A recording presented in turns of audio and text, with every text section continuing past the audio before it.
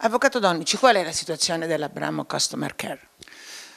Purtroppo ad agosto scadrà il secondo anno di, relativo all'esecuzione del programma previsto dagli amministratori straordinari e il timore è che non ci sia la possibilità di proseguire.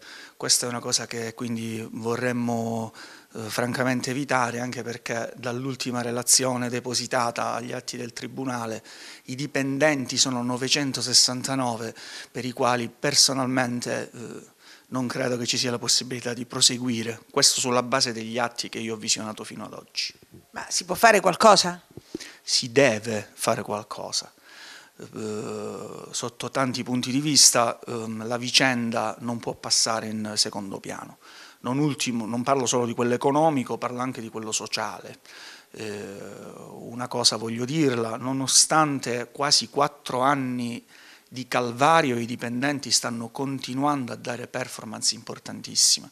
Questo significa che a Crotone ci sono delle professionalità tali da poter consentire a qualsiasi imprenditore di subentrare ad Abramo Customer Care. Questo è il nostro augurio, non lo dico io, lo dicono i numeri.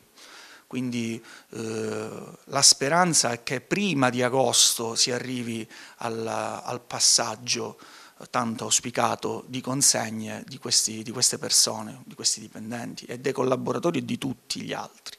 Sì, però non possiamo dimenticare che questa situazione mette in evidenza la crisi economica non solo di 969 famiglie, ma a questo punto anche della città.